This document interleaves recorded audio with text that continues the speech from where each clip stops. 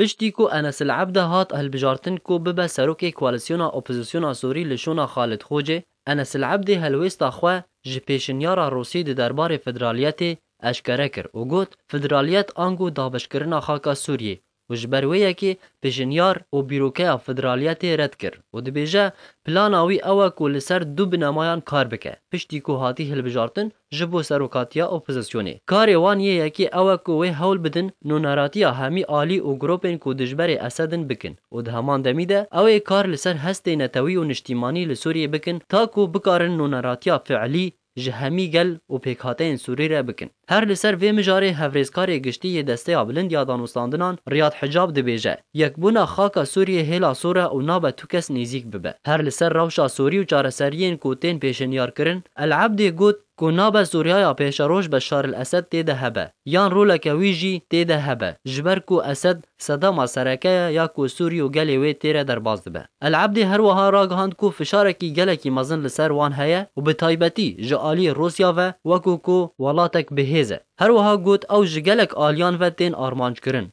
Ji hundirê Sûriyê ve jî rêxistina DAIŞ û rejêma Esed û mîlîşyatên Îranî jî wan armanc dikin û dibêje, ji ber ku opozisyona Sûrî îro rûberûbûna van hemî aliyan dike ji bilî fişara navdewletî, bi dîtina wî opozisyona Sûrî tanha serkeftin bi dest xwe ve aniye ta radeyekî baş.